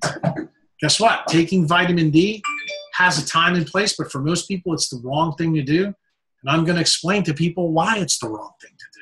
And I know this is going to shock people when they hear it, but when you understand, and I'll explain it to you very simply here, because I think you'll get it and your listeners will get it. What is vitamin D3 in our body? It is the chemical signal after a light has collided with proteins in us. What does that mean? The chemical signal is only designed to be present when the photonic energy has been absorbed by our atomic lattice. So when you take vitamin D, you have the chemical, but you don't have any of the light power in your body. You think that's a good idea? Is that how you would design by nature? No, not at all. And does that have effects down the pike? The answer is yes, it does. So I'm okay when the doctor understands what I just said. When someone comes in, say, with an autoimmune condition, but I got to get the patient to understand we can do this temporarily to turn your immune system on and this and that, but you have to stop doing this and you have to start doing this. And if you don't do it, I'm not taking care of you. And I explain this to them, just like we talked about in this yeah. podcast. Yeah. I explain it to them in detail. And I, I uh, the other thing I explain to them, because people don't really understand light. When sunlight hits us, we make cortisol, we make vitamin D3. Guess what else we make? We make another chemical that gets cleaved from this protein in our brain called beta endorphin. Most people know about it from runner's high. Well, guess what? That's why the sun makes us happy. And see, it comes from a chemical in the eye uh, that gets made in the brain in the hypothalamus called POMC, and it's called POMC. Okay? There's about six cleavage chemicals that are made. One of them is beta endorphin, another one is cortisol, another one is ACTH, Another one is alpha MSH. That's the reason why people who have Lyme disease, autoimmune conditions, always have low alpha MSH levels. They always have low beta endorphin levels. That's why they always feel like shit because they can never make these things. And it's why all autoimmune conditions are always associated with low vitamin D levels.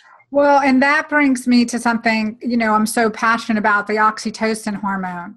So we're talking about that delicate balance, like we're unable to synthesize oxytocin in this milieu. And Correct. so we have PTSD harder, longer, and then the effects of chronic adrenal dysfunction, right, or the cortisol imbalance, creating that leaky membrane. That leaky membrane, if it's in the gut, if it's in the endothelium, if it's in the cardiovascular, if it's in the brain, well, the impaired integrity of the cell membrane. It, it, can. That's that's one of the effects for sure. the easier way for people to think about it is that the signal through the eye is broken. So that means the paraventricular nucleus is constantly outputting. So just think about like this. You have a circuit that's working like nuts. It's going to eventually burn out. What's the thing that balances that circuit is the vagal system. That's the parasympathetic. So what you have to realize is the parasympathetic gets completely turned off. What turns it on? UV and IR light. See, the, the parasympathetic and sympathetic system, the way you and I learned it, I personally think is psychotic because it doesn't make any sense. But what does make sense, this is how I break it down for people. Even if you don't know anything about light, you've probably heard physicists talk that light has two parts. It has a duality. It's a particle and a wave. Do you know fundamentally what the paraventricular nucleus and the vagus system does? One acts more on the particle side of light, the other one acts more on the wave side. In fact, I even told you this when we talked on the phone a couple days ago that that's the main difference between men and women.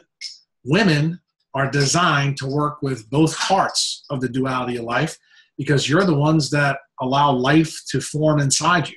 Men don't need both parts of light. Therefore, the atomic lattice in men are different than the atomic lattice in women. And if you really want to know why women go through menopause, is because when they go through menopause, they're reducing the amount of the particle aspect of light they use. Why? Just think about it common sense wise. If you are designed to come out your mama and work on both sides of light, that that uh, circuit is hot. It's always hot because you need the extra juice to give it to a baby. Well, guess what? If you kept living your life with all this extra juice, you would burn out like a, a blue straggler star. Instead, nature wants you to be more like a red giant. And what's a red giant? Red light works better on the wave part of light. Why? Because it works with water. Now I want you to think, Anna, about what I just said. What does your mitochondria release? It releases infrared light. And see, that is the key. See, that's the reason why young women have nice breasts and nice behinds, because what they don't realize is that's where they store their DHA. DHA is the chemical that turns light into an electric current. And that's the reason why men are drawn to women with big boobs and nice behinds because nature tells the man that she's going to be able to make a baby with a big brain and a brain that works, that can make dopamine, melatonin, melanin, and all the biogenic amines we talked about. But here's you can the, add the shiny hair onto that one too, the other trigger. There's, there's no question about it. All these things tell us that you are a lightning rod for sunlight. Now, no man, I know my, when I talk about this with my wife and her friends, she hates that I can break sex down just like this. And it even gets deeper. Even if we talked about diff- different sexual proclivities and how it fundamentally works would blow your mind. And I, I kid you not. But it's all photoelectric power. Women use light differently than men and the and the, the key thing is once y'all realize it then you begin to say hmm this is the reason why we need to do things a little bit differently and until doctors especially anti-aging doctors and obgyns really understand how women differ with the use of light and water we're not really going to solve ladies problems and that's part of the reason why i believe if i can teach ladies about light and water uh, they're going to be far along in the game. The key thing is is finding a doctor like you who actually is not going to dismiss them and throw them out of the office and say, "Well, you're batshit crazy," you know, because it's not crazy. The thing is, women can get back what they've lost. They need to understand they are designed by nature differently for a reason, and when you understand what that reason is and why your life changes, I, I would tell every woman when they get off, listen to this podcast, go pull your pictures out when you're 18, 28 38, 48, and 58. And if you got any of your boobs and your butt, really look at them. You know what you're going to notice? There's a huge change there. And all of you get pissed off about it, and you shouldn't. Why? Because you don't need big boobs anymore. You don't need, you know, an ass that looks like a Brazilian dancer, but you want it. And, and that's why the plastic surgeons are happy you want it. They'll put fake stuff in you. You need to realize that your body is depleting it's DHA for a reason. Every time you have a child, you are designed to deplete. Then you have to replete. Okay? This is the reason why autistic babies happen much more frequently these days because women are depleted and never get repleted. And they live in an alien sun world in non native EMF. They don't understand that non native EMF and blue light destroy DHA levels, not only in your boobs, not only in your butt, but guess where? Here. And right. here's, here's the take home. What is the one tissue in the body that has more DHA than any other? The retinal pigmentum epithelium that works with what? Sunlight. Mm. That's how it works. Well, and that whole, you know, we mentioned autism and then that connection with the microbiome also responding to our light and our electromagnetic and our water. Yeah, right? people, people don't understand how the microbiome fundamentally works with light, and we can get into it a little bit. Um, you have to know a little bit about a research. I want to go back to the differences between men and women because you started it. That's, that's a, but that's another that's another podcast because that is. Uh, we'll do have, it. You, you have to know a little bit more about light and water, and this is what I will tell you if your listeners and you go out and buy these two books and assimilate them before I come back on, then you're going to understand why they are different. The name of the first book I've told you is Gerald Pollack, The Fourth Phase of Water. Yes. The second book is written by a guy named Roeland Van Wijk. You spell his first name R O E L A N D, Van, V A N, Wijk, W I J K. Uh, his book is called Light Sculpting Life. Um, that's pretty much everything you need to know about light. And Pollack's book is everything you need about water. You need to know a couple more things, but I can cover that in the podcast. When it comes to the microbiome, no one in medicine has a clue how it works, but I can give it to you very simply. Um, Fritz Popp was a, a, physicist in the 60s, 70s, and 80s. And one of the things that he became famous at is he proved what the Russians found in 1923 that every single cell on this planet emits extreme low frequency UV light. That's actually the stimulus to mitosis. Here's the key thing eukaryotes, which we are, this may be over the head of some of your listeners, but it's important for you to hear because you can probably dissect this out from them further. Eukaryotes are the most complex portions of light, life. That all eukaryotes showed up on planet Earth 580 million years ago in an event called the Cambrian explosion. It happened literally within 30 million years every bit of life that's on the planet right now started then. The only two kingdoms that were present before us were archaea and bacteria, which are called prokaryotes. Here's where it gets interesting. Your microbiome is made out of prokaryotes. What's the big difference between prokaryotes and us? They don't have mitochondria, we do. And here's the key thing they release 5,000 times more light than a eukaryotic cell. Our cell is designed to contain them. Why? All our cell membranes are loaded with what? DHA. Prokaryotes don't have any DHA. So you know what that means?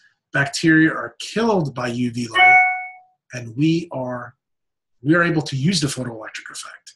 That's the key differentiating point. So when you understand that we have between, depending on who you believe, between 100 million to a trillion or 100 trillion uh, microbiome cells or bacteria in our gut. What does that mean? When you eat, what did I say to you before about sunlight on your skin? That sunlight on your skin brings the blood to the surface because of nitric oxide. Light draws things. So when you eat, you're delivering electrons to those bacteria. What do they do? They begin to release light. What's the inside of your gut?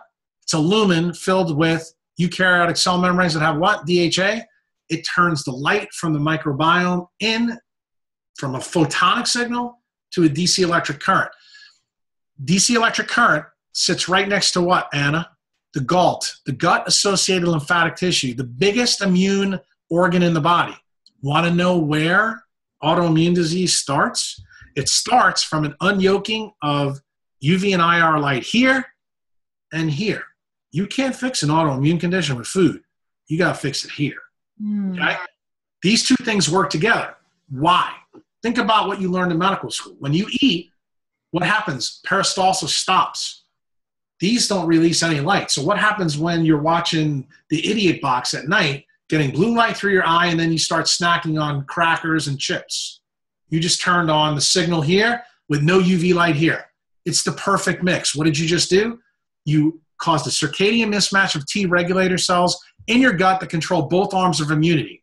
That is how you make autoimmune disease. Anyone you want to, you know, figure out, it just depends on which mitochondria you destroy in that tissue. How do you destroy mitochondria? What I told you before, the heteroplasmy in that tissue. So if it's in the thyroid, you get Hashimoto's. If it's in your brain at the aquaporin gate, you get MS. If it happens to be at a protein in your collagen called MM, MMP9, you get rheumatoid arthritis. Everything is a circadian mismatch. Everything is related to light. And the problem is nobody understands it. And then the reversal of it for all of those conditions comes down to the same thing. Well, you have to change the environment that you've allowed. In other words, when I teach you how to mind your mitochondria, it's going to start with your eye. Then it's going to go to your skin. And the last thing you're going to get right is your gut and your lungs. See, those are the four main surfaces that we're designed to work with. I always tell my members that we are basically a Con Edison light bulb by nature. And you have to understand that the frequencies that we use during the day are blue, green, and red. Okay? The ones that we regenerate with are UV and red. If you just think about just the basics of that alone and think about what your doctors have taught you, they've taught you to fear UV light. And that's the reason why we're getting sick. Not only that, when Tesla and Westinghouse electrified the planet in 1893 at the Chicago World's Fair, I'll challenge anybody to go back and pull out any data you want to see and you want to know when all Neolithic diseases spiked, that's it. Because, you know, I've had some of my members say to me, hey, doc, you know, MS was uh, clearly present in 1832 before all this. I'm like, yeah. Did the ladies have clothes on? Because clothes will cause a mismatch. It'll take longer to get there, but you'll still get there. The problem is now it's fast forwarded. This is the reason why. I mean, before your mom died, if you would have asked your mom, Mom, do you remember seeing all these people with Alzheimer's and Parkinson's when she was a little girl? You never saw it. I'll tell you a funny story about my residency. I, uh, when I was at LSU, uh, we have a big um, a hospital down here called Ochsner. That's kind of known as the Mayo Clinic of the mm-hmm. South. And J.O., who is his son, Big Ochsner's son, was a cardiovascular surgeon. And his dad was still alive when I was like a first or second year resident. He says, Come on, Jack, I want you to introduce you to my dad. I, I got to meet the original Ochsner, Alton Ochsner. And he told me the story that he brought medical students in the 1920s to see cases of lung cancer because you may never see these again. That's how rare they are. So when he told me that, I went back and looked in the archives of where I did my residency, which is a charity hospital, which is now closed we have the best medical records going back to the 1850s. I found out that in 1900 that colon cancer was the 37th leading cause of cancer. Today it's number 2. So if you believe what the oncologists are telling you that genetics cause cancer, tell me how in five five generations that we went from 37 to 2. You know what happened in the same time? Tesla and Westinghouse made the electric circuit. And then we started to bring turn DC current to AC current. AC current is one of the worst things you can do. Why? In around me right now, that electric power grid oscillates at 60 hertz. You can Google that and see. You know what your mitochondrial membrane oscillates at? 100 hertz. So that is a resonance frequency problem, okay? Just think about like this. For people who don't understand physics, think about the old days when you drove your car on an AM radio underneath the power line and you heard a that's exactly the same effect. Why is this a big deal for Europeans? Their power grid is 50 hertz. That means they're more at risk because of the way our mitochondria are built. That's part of the reason why, if you look at Scandinavia, they have more obesity, more autoimmunity, and more type 2 diabetes than almost any other place on the planet. And the interesting thing with all of these things is if you look at cancer, autoimmunity, uh, and obesity, the further you get away from the equator, they all get worse. It's not just MS. Everybody in medicine knows it's MS. It's all of them. Why? What does vitamin D and cold both do? decrease vibrations on cell membranes. What do we know from physics? Anything that vibrates releases more electrons. What did I tell you before? When we lose electrons, we can't create a battery in water. If we can't create a battery in water, are we losing or gaining energy, Anna? Or losing? losing. Guess what? When you lose energy, what happens to mitochondria? It doesn't become as powerful, so it goes through this heteroplasmy and it slowly builds up over decade, over decade, over decade. So you go from bad vision, myopia, glaucoma, crazy, depressed, Lexapro. Oh, Lexapro's got fluoride in it. It gets worse. Oh, now I have Hashimoto's. Oh, and then I got cancer and I die at 67 years old. And what was the main effect? The percent of heteroplasmy change in mitochondria has nothing to do with the DNA, has nothing to do with the genome. See, this is what Doug Wallace is teaching us, and we're not listening. Mm-hmm. Some of us are. Well, I think we're creating a new tide in medicine. And then again, what's very reassuring is that we have a lot of power as individuals in changing our environment and changing the way we're thinking about it, which brings me to the point of with this understanding between current, right? Our electromagnetic potential and current, and how our thoughts create change. And I know you got to go. My gosh, thank you so much for your time. But when we're, are the way we're thinking, and we know how that changes time, how that changes our body and our physiology. Yeah, it does. I mean, here's the great thing about physics that everybody listening to this should feel good at. As bad as we screw things up, we also have the potential to fix things if we're willing to alter the environment. I mean, I'm a perfect walking example of it. When I was 40 years old, six foot two, 360 pounds, I was a complete asshole, typical neurosurgeon. Uh, you would have never heard me talk about any of this stuff at that time. And then when I got my injury on my knee and somebody told me, hey, look, I think I know why this happened to you, my whole world changed. I mean, literally, the rabbit hole I jumped down not in a million years did I ever think 12 years later I'd be sitting on the internet talking to an OBGYN about this. Not in a million years. And the thing is, this is what makes me passionate now. I can talk about this all day long. I don't want to talk about neurosurgery. You know why? Neurosurgery is kind of like a car mechanic. When you crash your car into the wall, yeah, we can fix that. That's what we should do. But most of the people listening to this have chronic diseases that can't be fixed by the operations that we were taught. Mm-hmm. In fact, they have to be fixed with brain surgery or spine surgery without a scalpel. And that's what we talked about today. We talked about the cosmic wand. The cosmic wand is light. What is it interactive? What's its canvas? Water. What organizes the whole interaction between light and water? Magnetism. Where's magnetism based in? The mitochondria.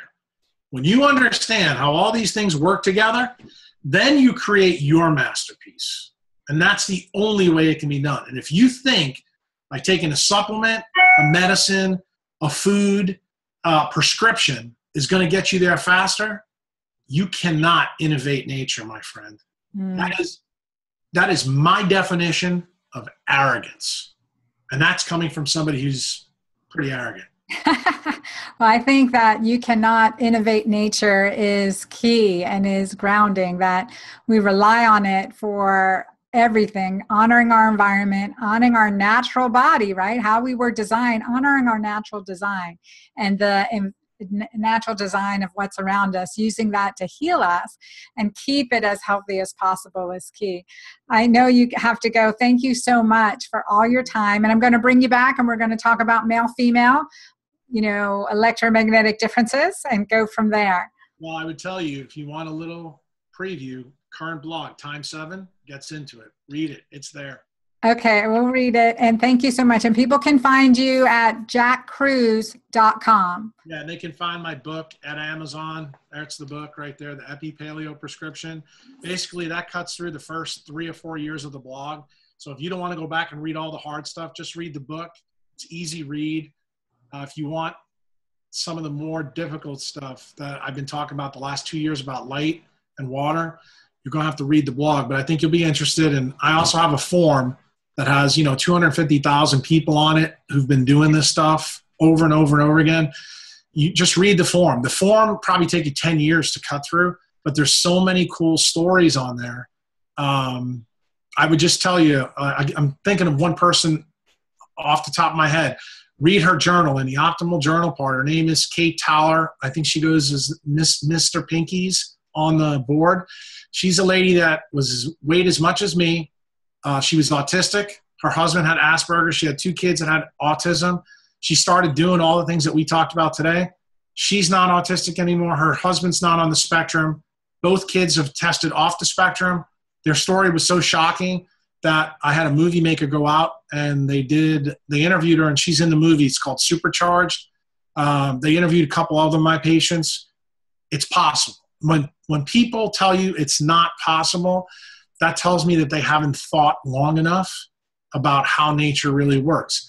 I, I will never tell any anybody from this point forward that something's not possible because I did impossible to me when I didn't think it can be done, and I think you can do it for you too. You just have to decide: Are you willing to put the time into you? Are you worth what you should be worth? Uh, only you can make that determination.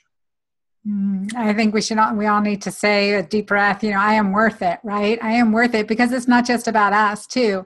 It is, you know, first it stems from us, but to our children and their children and their children. And and that's the heart of the matter. It's like when i'm out here and we're talking or putting this out and this information is to you know heal heal us heal our generations that follow us. And when i look at the disease and the children and what's happened in my field my specialty of obstetrics and where we've gone wrong i want to cry i want to cry. Mm-hmm. so the more we can get out this information and and just again recognize our design honor it and enable it right? Heal it absolutely true. Yeah. So everyone can listen to this. If you're listening on my iTunes podcast, please leave a review, add any questions. And also on YouTube, you can watch this video because you definitely want to see this outfit that's going on Dr. Kruse's head right now. Time for Mardi Gras. Time for Mardi Gras. Thank you. Bye bye.